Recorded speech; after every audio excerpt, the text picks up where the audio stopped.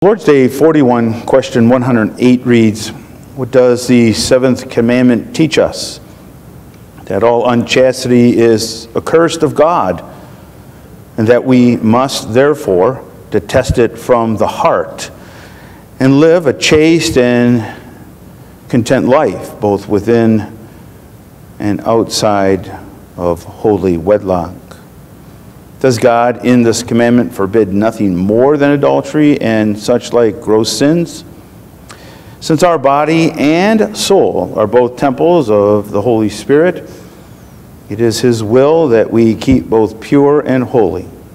Wherefore, He forbids all unchaste actions, gestures, words, thoughts, desires, and whatever may entice one thereto. I just draw attention to those words there, whatever may entice one thereto. The commandments of the Lord remind us that we are to live prudent lives, wise lives, especially here with regard to this seventh commandment as well. Well, now, congregation, let's open the Holy Scriptures to Matthew chapter 5, and then we'll open up to 2 Samuel, where we gain our context. So let us first open up to Matthew chapter 5, and starting with reading with verse 27. Remember, our Lord here is on the Sermon on the Mount, and he is transforming the Ten Commandments as the new Moses, as the great prophet that our Lord is, as he is God manifested in the flesh. Uh, some have described this transformation not something new in the sense that it wasn't there originally, but some have described it this way that what our Lord is teaching here is we're moving from black and white television to color. We're going from black and white television to HD TV 1080p. We're looking at a clear exposition of the law of God as given by our Lord Jesus Christ. So we read, begin reading at verse 27 of Matthew chapter 5. We read to verse 30. Again, Matthew chapter 5, we start reading with verse 27. You have heard that it was said, to those of old, You shall not commit adultery. But I say to you that whoever looks at a woman to lust for her has already committed adultery with her in his heart. Verse 29, our Lord begins to expound how we are then to react to such lust. If your right eye causes you to sin, pluck it out and cast it from you. For it is more profitable for you than one of your members perish than for your whole body to be cast into hell.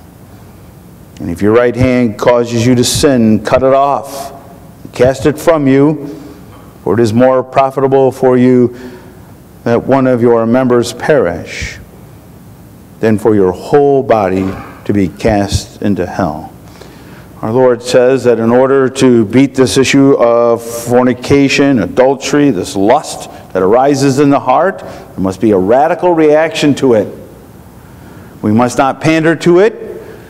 We must not acquiesce to it. We must not justify it in any sense of that term.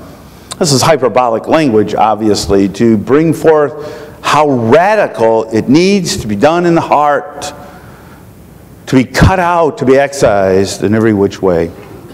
And so now, congregation, let's turn to 2 Samuel as we gain our context uh, with regard to adultery, gaining some thoughts and concerns about this important seventh commandment in the life of David as he committed adultery with Bathsheba.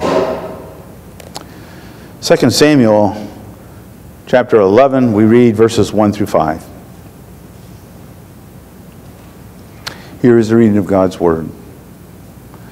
It happened in the spring of the year, at the time when kings go out to battle, that David sent Joab and his servants with him, and all Israel. And they destroyed the people of Ammon and besieged Rabbah, but David remained at Jerusalem. Then it happened one evening that David arose from his bed and walked on the roof of the king's house. And from the roof he saw a woman bathing.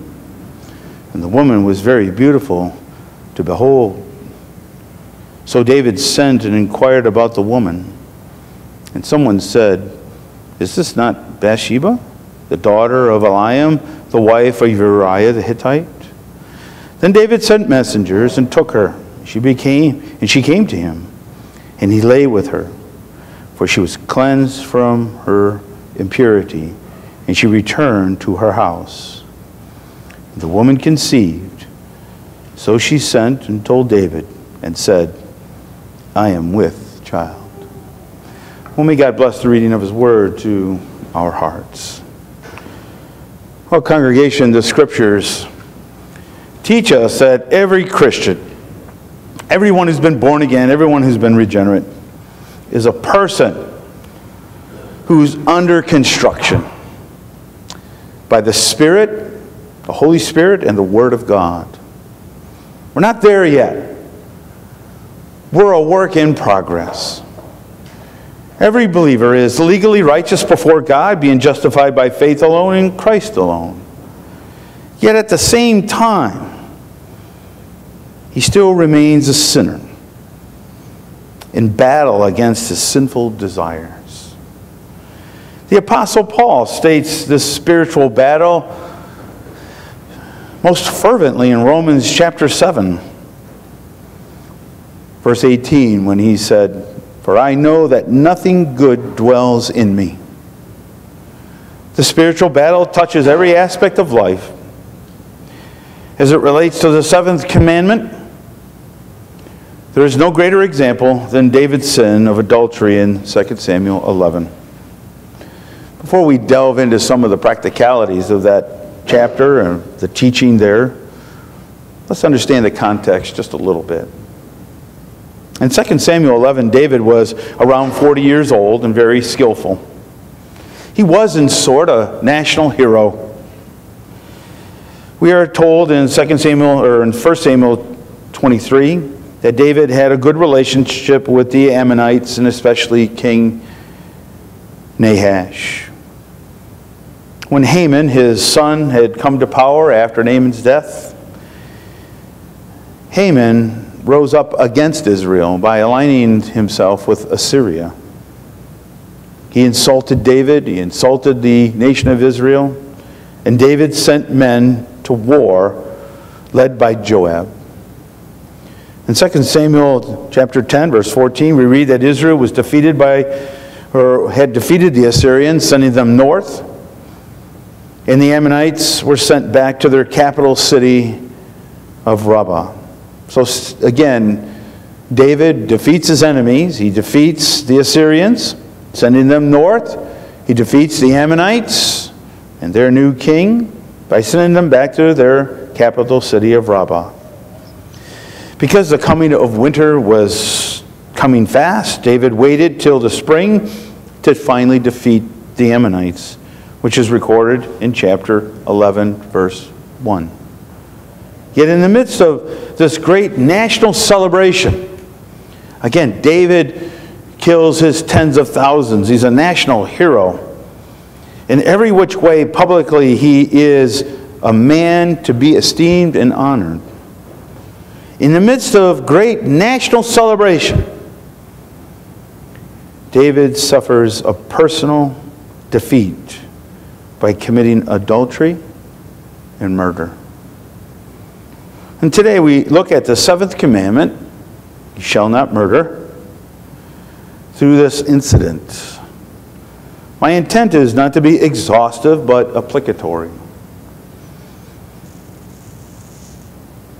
What were the contributing factors to David's life that brought him to this point? What was the slippery slope that he was on? And how can we learn from this incident for ourselves so that we can detect the signs of the slippery slope in our own life. We have to admit that all of us are, in one sense, are on that slippery slope. Sexual passion of any sort can come up from behind us in many different ways. We find ourselves entrapped in the devil's sewer, which brings us down greatly. Our subject is take heed lest you fall. We just have two sermon points. First, the cultural influence, and second, the prosperity or successful influence. These are two signs that you know you're going to be in trouble if you become insensitive to these signs. One, the cultural influence, and then also prosperity and success. So, first, the first contributing sign is the cultural influence that often leads to sexual sin. We see this here in the example of David because he allowed himself to be dragged away from the things that are pleasing to God, from the principles laid down in God's Word, to be entrapped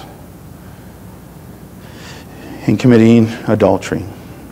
I'm sure that it wasn't evident to him at the time, but each day and month and year, David was falling into the trap of Satan to commit adultery. This is Satan's main work in our life to slowly seduce us away from walking in the steps of the Lord Jesus Christ. I'm sure you've heard of the example of the frog in the pot, right? You know, the frog is in a pot of cold water and he's having a great time in there. And you just turn the heat up slowly and slowly and slowly until the frog is belly up dead. And the frog never knew what hit him. That's the way in which the devil seduces people. David's family life is not what it should be. His example as a father is not what it should be. And Satan is using all these elements to bring David into the situation that he's into now. David's first problem was his polygamous lifestyle, which was a direct attack on the institution of marriage. This taking of many wives that David did was a direct violation of God's word, particularly the seventh commandment, as it is established from Genesis chapter 2 that the two shall become one. It doesn't say and the nine shall become one, it says and the two should become one. This polygamous lifestyle of David was driven by culture, the culture of the day. To view marriage just simply in the light of culture is all what David was doing. But it was driving him away from God, driving him away from God's Word. Since everyone was doing it, Satan's untrue exaggeration, which is prevalent today, It's okay to do it. Why not indulge? Ashley Madison, right? The website. Commit adultery. Life is short. Is satanic seduction. All too often, this is Satan's trick for us today as well. You see, this is our problem today. The problem is not the church, as we have often said, that exists in the world, but too much of the world is found in the church. There's a huge difference between the world and culture and the church of Jesus Christ. The two are totally different. The invisible church is identified as the people of God, God's elect, from whom Christ purchased with his own blood and is continually cleansing her by both the Spirit and the Word. Such things are never said of the world or of our culture in which we live. Like David, whether we know it or not, our culture pushes us constantly to conform to its principles rather than to Christ's.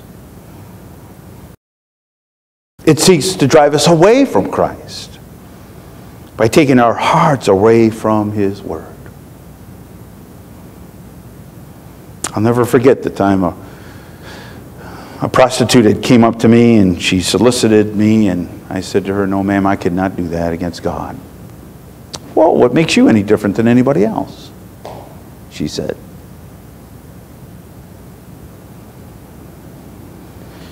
You see, the culture, with all of its perversion, is pushing us to assimilate, to compromise the truth of God's Word, especially about sexuality. The sewer that flows from Hollywood goes into almost every aspect of media, is seeking to redefine the family and sexuality, from homosexuality to fornication. While we decry against that, we realize that that's the way the world is. And why we cry to God in prayer over such perversion. From homosexuality to fornication to adultery and a whole bunch of other slew to pornography itself.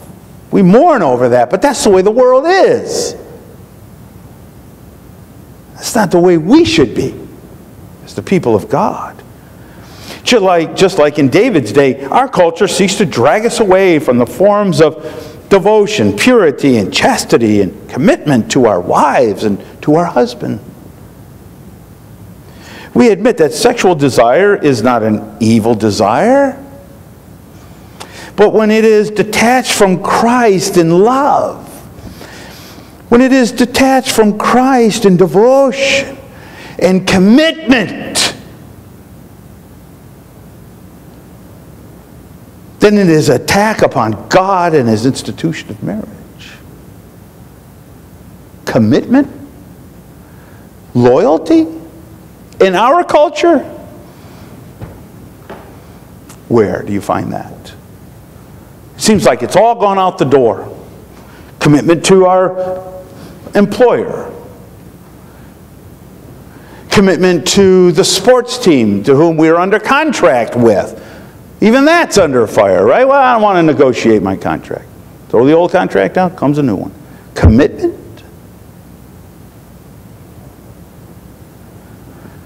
Our culture doesn't even know how to spell the word commitment and loyalty anymore. Doesn't want it.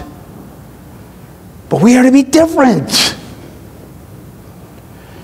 You see, polygamy here fostered a slippery slope to openness, which is encouraged the lust for a variety of sexual experiences. Sexual desire today, as in David's time, is not directed to devotion and commitment, to, but to a variety of experiences. While the impact of polygamy is not a great concern in our culture, the social and psychological factor of a variety of sexual experiences is projected all over the place.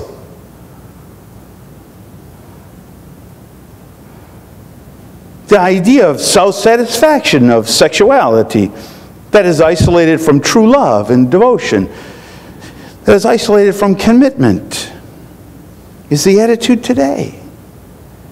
And that's the link between us and, and David's day.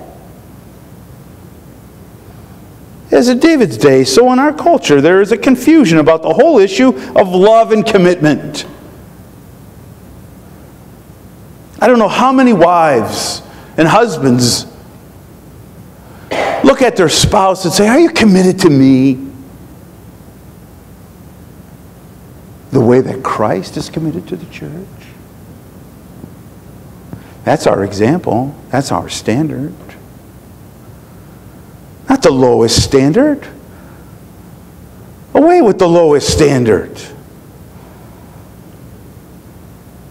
You see, the only way to combat the slide into this perversion, to this openness idea, is to meditate and keep ever before us the Lord Jesus Christ. Jesus is not a polygamist, for he has one bride, the church, who he loves and gave himself for. Jesus loves the church so much that he died for her and continually cleanses her from the filth of the world. Husbands, are you doing that to your wives? Wives, do you love your wife, your husband that way?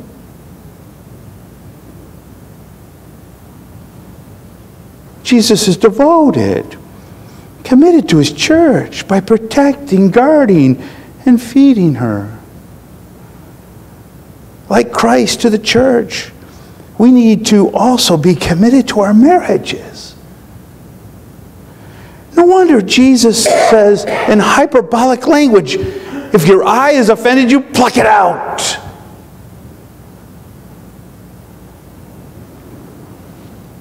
Whatever happened to that standard?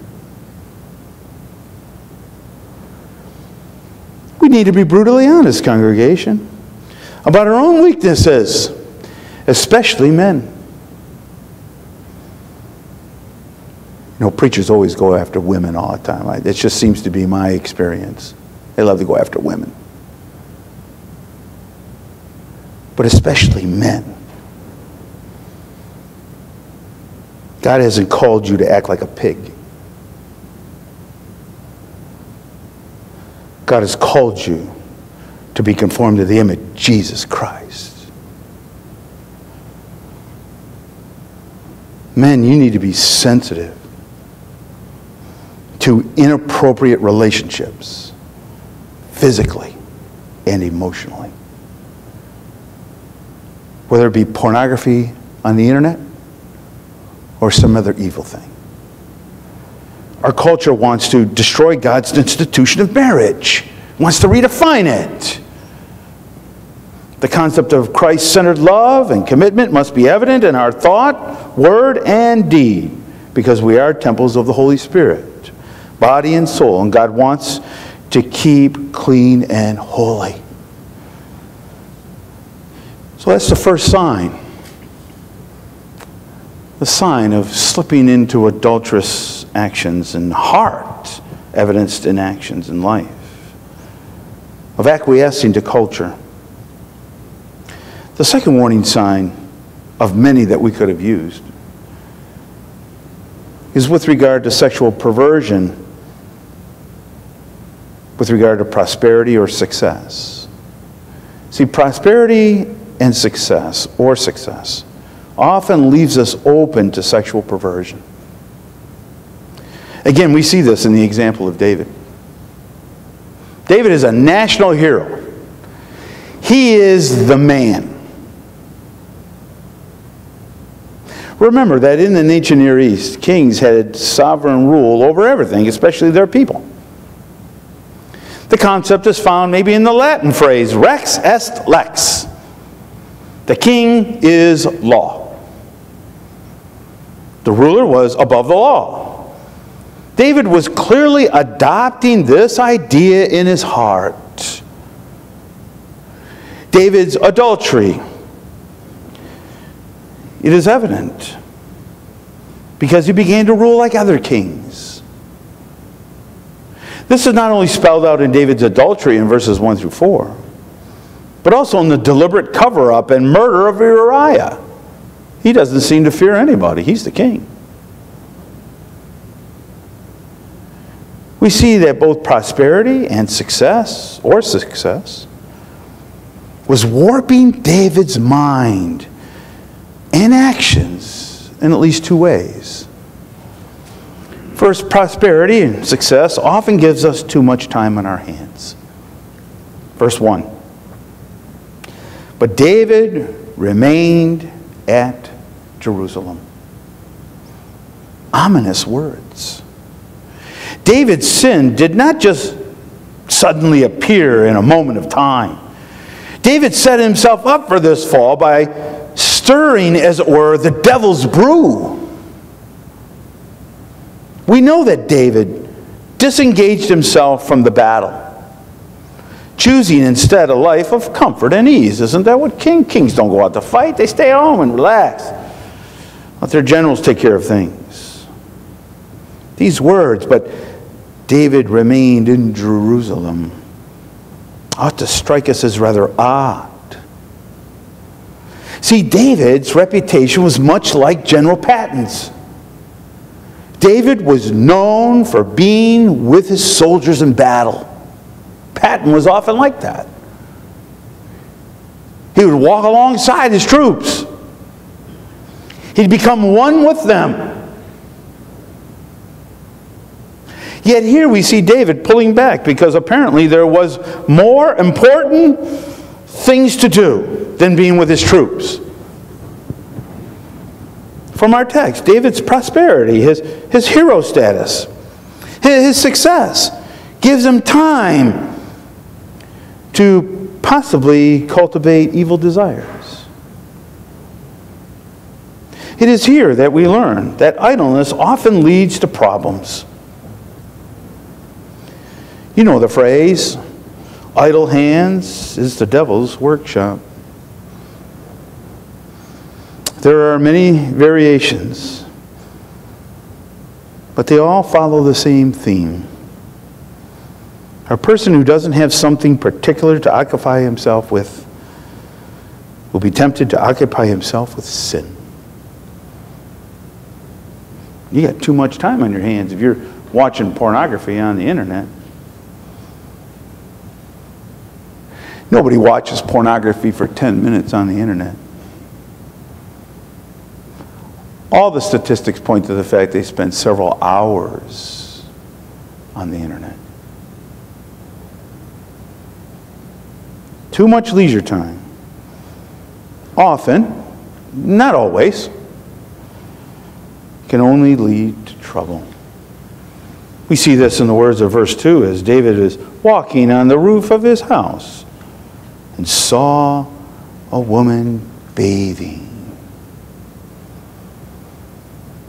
His lust is burning within inside of him. You see, when we get a roaming eye like David in verse 2, it leads us to the watching of pornography and finding fulfillment in other things other than Jesus Christ. Sexual lust begins in the heart, as our Lord taught in Matthew 5 but it is brought in and stimulated to the eyes. And again, men, that points to you and me. David reminds us in our text that especially men are more sexually attracted to what they see. Men must be careful and wise because the eyes are the gate by which sexual perversion comes into the heart. Some great painters in history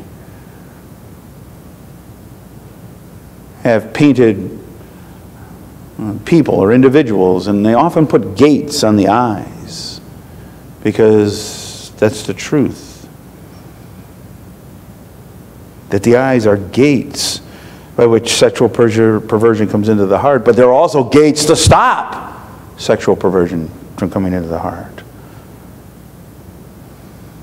You see, prosperity and success, again, not always, means that we have too much time on our hands, but secondly, it also breeds the idea of arrogance in the heart, independence, self made man. We all want to be financially stable because it makes us independent. We don't have to worry about things. We don't have to worry about being dependent. And so when prosperity and success often comes into the heart, not always, it fosters the idea of prayer and arrogance. And while there's nothing wrong with being prosperous or successful, some people can't handle it. And they mishandle it. How many have said, No, not me? Or, no way, I'm spiritually mature. I'll never fall into that lust that David did. No way, not me. It's hard to believe that David would become so enticed, so engulfed, so in bondage because of his past relationship with God was, was so vibrant and so real. David was, a, was a, in a sense, a great theologian as well as an intimate relationship with the Lord God. How could this happen to David? David? He's so spiritually mature. How do we how do we know that? That he was so spiritually mature, that he, that he, that he had such good theology. Because it's all recorded in the Psalms, is it not? During the time David was running from Saul, was seeking to kill him, those lonely days and nights in the cave, he was an example of humility and prayer, dependence upon God. Like in Psalm 86, verse 1 Lord, listen to me and answer me. I am poor and helpless. And something's changed in David's life at this point. Prosperity often leaves us exposed to Satan. And David's in that situation. And while there's much discussion on the words in verse 3, David sent and inquired about the woman. Whatever position you take, one point is clear David is full of himself and is red hot with lust, to say the least. David is so prideful and arrogant that he does not seek to hide the affair as he commands his messengers to go and take her. The Hebrew word there is seize her, whether she wants to come or not. I'm the king. And in the ancient Near East, you do what the king says to do. And they go. Notice how the messengers help. They aid and abet in David's adultery. David uses intimidation. It reminds us of those words in Ecclesiastes chapter 8, verse 4. For the word of the king is supreme, and who may say to him, What are you doing? Now, Nathan will come soon to say, Thou art the man. But notice how the messengers don't say to David, Oh, David, stop doing what you're doing. You cannot do that. People fall to the side because they're intimidated by David. Instead of giving him the truth, they fall to the side. And what it is, they ate in a bet. In other words, what King David wants, he gets. Otherwise, you may just lose your head. Notice David's lust makes him insensitive to God, who watches over all things. Was it not David who wrote in Psalm 69, verse 5, Oh God, you know my foolishness, and my sins are, are not hidden from you? God's there, God's watching. He's become so insensitive because of his pride and his arrogance. No, not me.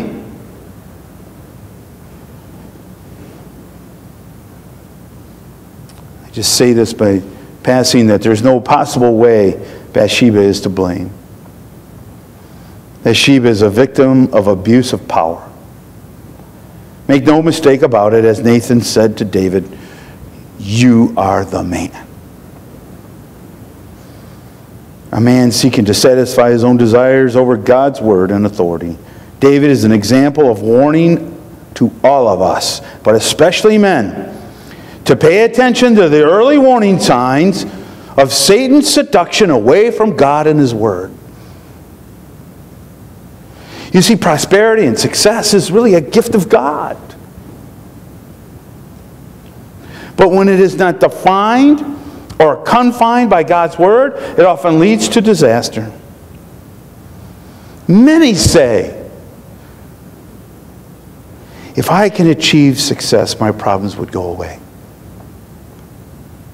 The reality is that success creates a whole new set of problems.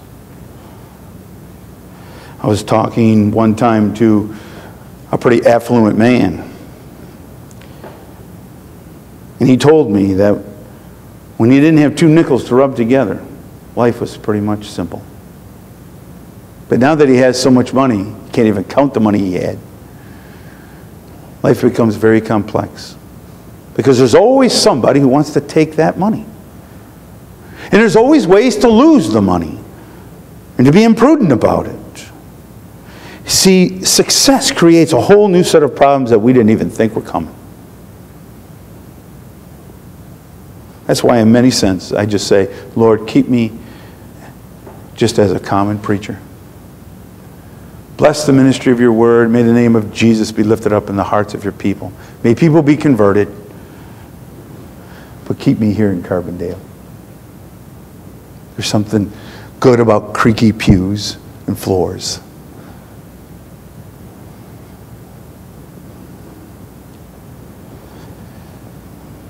You see, for every Christian in this sex soaked culture, our battle against temptation never ceases. We need people around us to give us good wisdom, who are not afraid of my face or your face, who will stand up and say, That's wrong. And when the person raises his ire against you and say, Give me a biblical verse that says that. We will look at him and say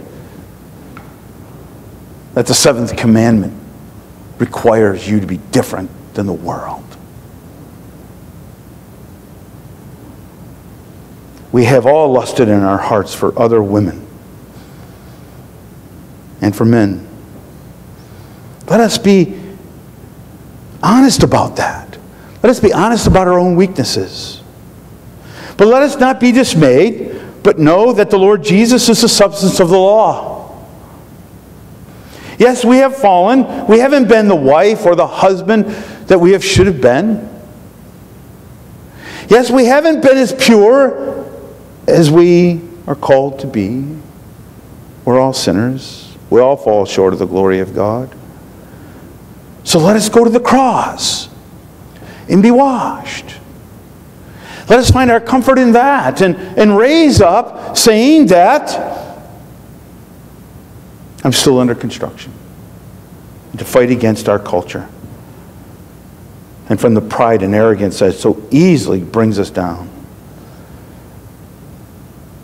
Let us find comfort in our Lord Jesus Christ, who is the pure one, who is the Holy One of Israel, who has come to free us from our sexual stupor. May we be like Joseph when Potiphar's wife came to him, seducing him to have sex. No, I cannot do this against God. That's our standard.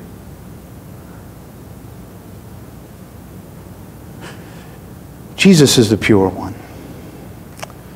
You see, it's in the Lord Jesus who is our bridegroom. And we are his bride in the new covenant. That's where our standard should be. You see, congregation, we need our hearts washed in true repentance and faith.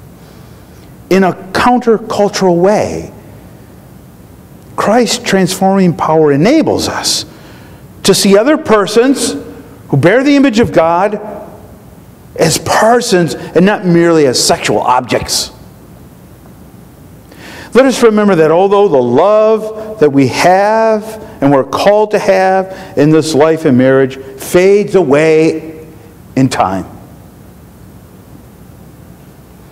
but the love of our union with Christ grows brighter and brighter with age. Let us be warned. Let us be warned that no fornicator or adulterer shall inherit the kingdom of God. And as the scriptures remind us, for without holiness no man shall see the Lord. May God bless the preaching of his word. Let us pray together. Heavenly Father, we thank you that even in times when we struggle with loving our spouse, even at times when we become selfish and arrogant, even in times when we become swayed by the culture in which we live in, there is always Jesus there.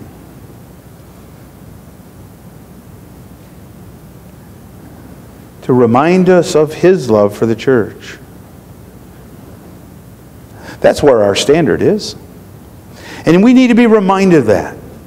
That the standard is greater than just simply the marriage that we have with our spouse. The love that we are to emulate is the love that Christ has for the church. And that the church has for Christ. And help us as men, Lord. Because too many times we play naive. In one sense, we, we play stupid to our own weaknesses. then find ourselves in the same situation David did. Forgive us of our sins, Lord. Put them under the blood of Jesus. And raise us up in the newness of life that's found in Him alone. Bind us together in your love. Renew our hearts. For we ask these things in Jesus' name. Amen.